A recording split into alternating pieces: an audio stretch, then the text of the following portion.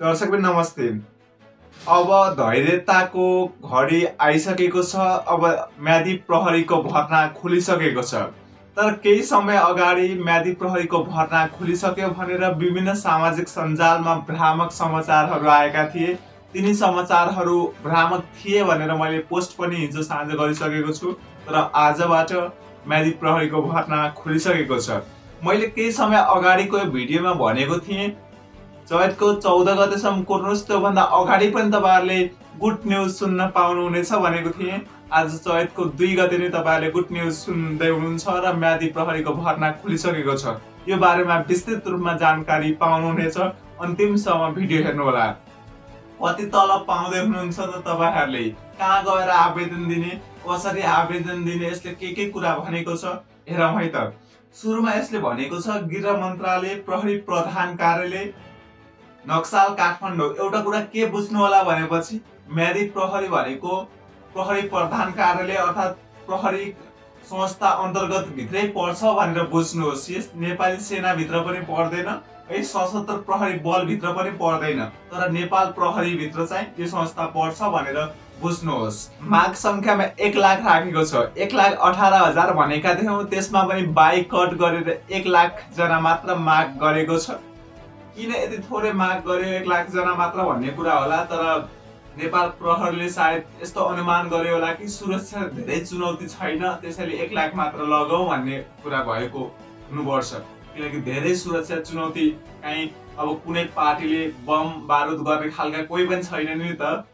विप्लव दाईहरू पनि राजनीतिमा आइसके सबै आइसके अब त्यस्तो बम बारुद गर्ने खालका मान्छेहरू छैनन् भनेर अनि एक लाखजना मात्र लगेको छ है त। जनाको माग गरिरहँदा यसले भनेको छ दरखास्त दिने मिति अब दरखास्त फारम कहिलेबाट भर्ने भन्ने कुरा हो। तपाईँ हामीले बाह्र महिना छ गतेबाट भर्ने। आज बाह्र महिना दुई गते भयो चैतको दुई गते भयो चैतको छ गतेबाट तपाईँ हामीले आवेदन अर्थात् एप्लिकेसन फर्म भर्न सक्छौँ। म्यादी प्रहरीका निम्ति है त। चैतको छ गतेदेखि चैतको एघार गतेसम्म मात्र। भन्नुको अर्थ छ गतेदेखि एघार गतेसम्म भनेर छ दिनको मात्र समय राखेको छ है त। चैतको छ गतेदेखि एघार गतेसम्म तपाईँ हामीले म्यादी प्रहरीको लागि एप्लिकेसन दिइसक्नुपर्छ आवेदन फारम भरिसक्नुपर्छ। यसमा भनिएको छ आवश्यक न्यूनतम योग्यता पनि भनिदिएको छ। उमेर हत हामीले भनिसकेकै उमेर हत राखेको छ। अठार वर्षदेखि चौवन्न वर्ष ननागेको हुनुपर्छ भनिएको छ।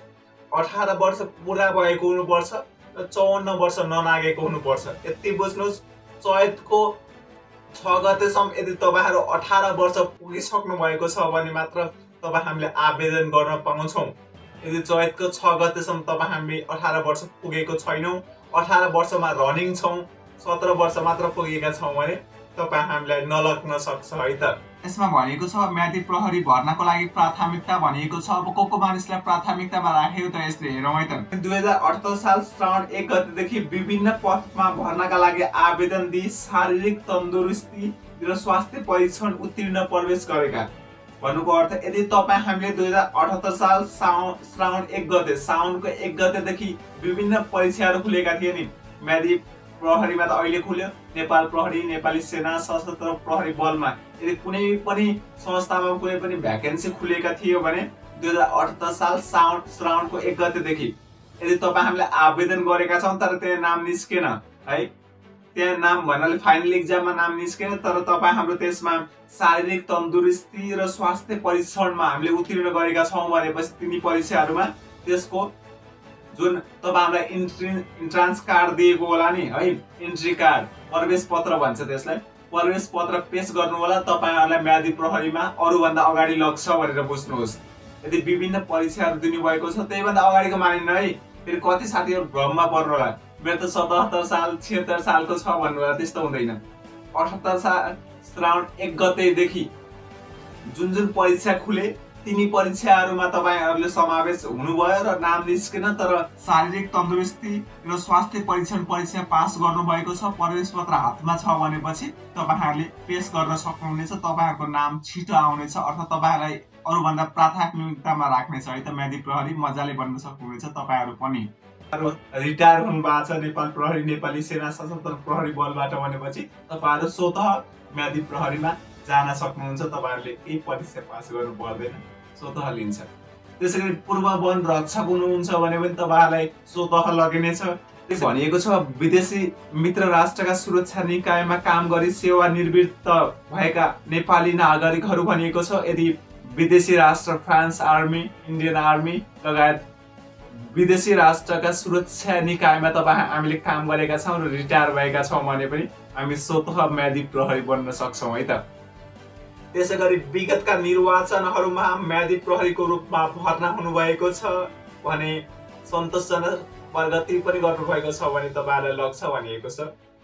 भन्नुको अर्थ योभन्दा अगाडि पनि म्यादी प्रहरी बन्नुभएका साथीहरूका निम्ति प्लस पोइन्ट हो।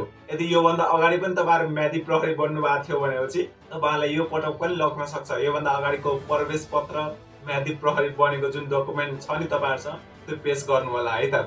तपाईँहरू प्राथमिकतामा पर्नुहुनेछ यसको अर्थ यो होइन कि फेरि म्यादी प्रहरी बन्नका निम्ति पूर्व सेना अनि पूर्व नेपाल प्रहरी पूर्व सुरक्षा अनि सशस्त्र प्रहरी बल पूर्व वन रक्षक अनि पूर्व म्यादी हुनैपर्छ भन्ने छैन। एउटा सर्वसाधारण म जस्तो सिम्पल मान्छे जुन पहिला नेपाल प्रहरी थिएन सशस्त्र प्रहरी बल थिएन भने पनि तपाईँ हामी म्यादी प्रहरी बन्न सक्छौँ है। भ्रममा नपर्नु होला त्यसका निम्ति सेना हुनैपर्छ आर्मी हुनैपर्छ। सशस्त्र प्रहरी बल हुनैपर्छ भन्ने छैन। एउटा सिम्पल नागरिक पनि बन्न सक्छ तर तपाईँहरू पूर्व त्यस्तो थियो भनेपछि तपाईँहरूलाई प्राथमिकतामा राखिनेछ भन्न मात्र खोजिएको हो है। त्यसै गरी यसमा भनिएको छ सम्पर्क मिति र स्थान। अब तपाईँहरूले हामीले आवेदन भरिसकेपछि है चैतको छ गतेदेखि एघार गतेसम्म तपाईँ हामीले एप्लिकेसन दिइसकेपछि अब तपाईँ हामीलाई कहिले फोन गर्छ र बोलाउँछ अब है? किनकि तपाईँ एक लाखजनाको माग गरेको छ तपाईँहरू हेर्नु होला पाँचदेखि सात लाखजनाले आवेदन भर्नुहुनेछ। भन्नुको अर्थ छजनामा एकजना मात्र सेलेक्सन हुनेछ। त्यति हार्ड कम्पिटिसन छ भनेर बुझ्नुहोस्। है तपाईँ हामीलाई लाग्न सक्छ मजाले हामी कटाइहाल्छौँ नि भन्ने यस्तो लाग्न सक्छ तर त्यस्तो हुँदैन है। अहिले के के कुरामा ध्यान दिनुपर्छ खालि यो तपाईँहरू न खुसी नहुनु होला है। खालि फर्म खुल्यो भन्दैमा खुसी नहुनु होला अब नाम निकाल्नका लागि के के कुरामा ध्यान दिनुपर्छ? अरूभन्दा अलिक चनाखो के कुरामा हुनुपर्छ? म यो अन्तिममा भन्नेछु है। यसमा भनिएको छ सम्पर्क मिति र स्थान मितिमा बाह्र महिना तेह्र गते तपाईँहरूलाई सम्पर्क गरिनेछ। एघार गतेसम्म एप्लिकेसन दिनु होला तपाईँहरूले है? चैत्यो एघार गतेसम्म। अनि बाह्र गतेतिर रिभ्यू गर्छ अनि तेह्र गते तपाईँहरूलाई बोलाउँछ है? त चैतको तेह्र गते तपाईँहरूलाई जानकारी गराउँछ। अनि स्थान चाहिँ आवेदन दर्ता गराएका सम्बन्धित प्रहरी कार्यालयहरूमा। जुन ठाउँबाट तपाईँहरूले आवेदन दर्ता गराउनु भएको हुन्छ त्यही ठाउँमा तपाईँहरूलाई बोलाउँछ। तपाईँहरूले पनि आफैले पनि यदि केही गरी बोलाएन त्यो इन्फर्मेसन पाउनु भएन भने आफै जानु होला। तेह्र गते है चैतको तेह्र गते गएर बुझ्नु होला के भइरहेछ भनेर। अनि त्यसै गरी समय बिहान दस बजीतिर जानु होला त्यही है। अनि त्यसै गरी छनौट सम्बन्धी अब छनौट सम्बन्धी हेरौँ। छनौट प्रक्रिया प्रारम्भ हुने मिति चाहिँ बाह्र महिना पन्ध्र गतेदेखि तपाईँहरूको सेलेक्सन सुरु हुन्छ है। बाह्र महिना पन्ध्र गतेदेखि सेलेक्सन सुरु भइहाल्छ है। धेरै समय लाग्दैन यो सेलेक्सनमा बाह्र महिना चैतको पन्ध्र गतेदेखि तपाईँहरूको सेलेक्सन सुरु हुँदैछ। अनि अन्तिम नतिजा प्रकाशित मिति चाहिँ बाह्र महिना बाइस गते भनेको छ है। बाह्र महिना बाइस गते तपाईँहरूको जुन जुन परीक्षा दिनुहुन्छ नि है लङ जम्प हाई जम्प केही होला अथवा रेस होला पुसअप होला सिटअप होला जे जे गराउँछ त्यसको नतिजा चाहिँ बाह्र महिना बाइस गते तपाईँहरूले पाउनुहुनेछ। है? अनि परीक्षण सुरु हुने मिति चाहिँ बाह्र महिना अठाइस गते चाहिँ बाइस गते तपाईँहरूको रिजल्ट आइसक्छ। मेरो नाम निस्क्यो म म्यादी प्रहरी बने या बनेन भन्ने कुरा। चैतको अठाइस गतेदेखि तपाईँहरूलाई तालिममा लगिहाल्छ अर्थात् फिल्डमा खटाउनु सुरु गर्छ है त? त्यसै गरी म्यादी प्रहरी कार्य अवधि चाहिँ चालिस दिनको मात्र राखेको छ फोर्टी दिन ओन्ली फोर्टी डेज है। चालिस दिनको समय मात्र राखेको छ योभन्दा अगाडि नै हामीले जानकारी गराइसकेका छौँ कि यो पटक चालिस दिनको मात्र छ भनेर है। अनि सेवा सुविधा तपाईँहरूले कति पाउनुहुनेछ भन्ने कुरा सबैको इन्ट्रेस्टिङ कुरा हो यो।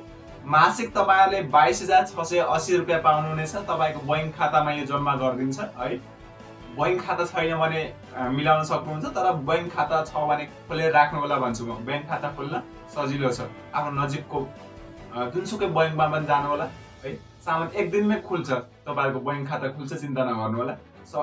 ब्याङ्क खाता हुनैपर्छ भन्ने चाहिँ छैन तर बैङ्क खाता हुँदा राम्रो हो है। किनकि यसले तपाईँहरूको बैङ्क खातामा जम्मा गरिदिन्छ पैसा। मासिक एक महिनाको लागि चाहिँ बाइस हजार छ सय असी हो तर चालिस दिन खटाउने दस दिन एक्स्ट्रा खटाउने भएकाले तिस हजार दुई सय चालिस रुपियाँ यो मासिक बापतको तपाईँहरूले यो चाहिँ तलब पाउनुहुनेछ भन्नु। त्यसै गरी खाद्यान्नका लागि खाद्यान्न बाबत प्रति व्यक्ति सात हजार रुपियाँ दिएको छ। खानाको निम्ति भनेर सात हजार रुपियाँ छुट्याउनेछ है। पोसाकका निम्ति तपाईँले छ हजार रुपियाँ पाउनुहुनेछ। त्यसै गरी सवारी साधन भन्नुको अर्थ जुन ठाउँमा तपाईँलाई खटाउँछ नि जुन निर्वाचन क्षेत्रमा त्यो ठाउँमा यताउता जानको निम्ति सबैको घर नजिक त हुँदैन।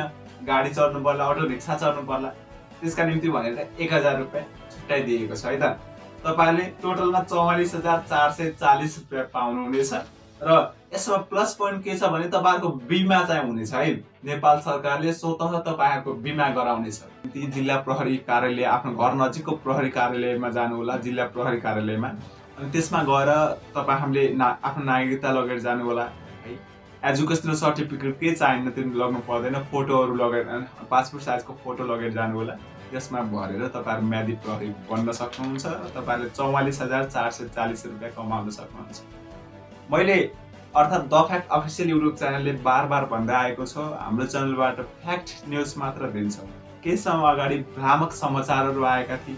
है धेरै साथीहरूले मलाई नै कमेन्ट गरेर तपाईँ भ्याकेन्सी खुलेको छैन भन्नुहुन्छ यहाँ त समाचार आइसकेको खुलिसकेको छ भनेर धेरै साथीहरूले कमेन्ट पनि गर्नुभएको छ।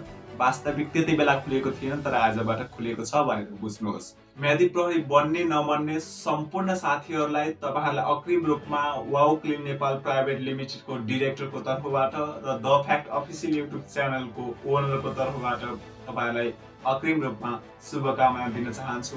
म्यादी प्रहरी बन्नुहोस् चौवालिस हजार चार सय चालिस रुपियाँ छोटो समयमा कमाउनुहोस्। यो धेरै ठुलो रकम त होइन तर यसले धेरै समस्याहरू तपाईँ हाम्रो मिडल क्लास फ्यामिलीमा भएका समस्याहरूलाई समाधान गर्न सक्छ। आगामी दिनको लागि पनि तपाईँहरूलाई शुभकामना छ। अर्को भिडियोका साथ उपस्थित हुनेछु। नमस्ते।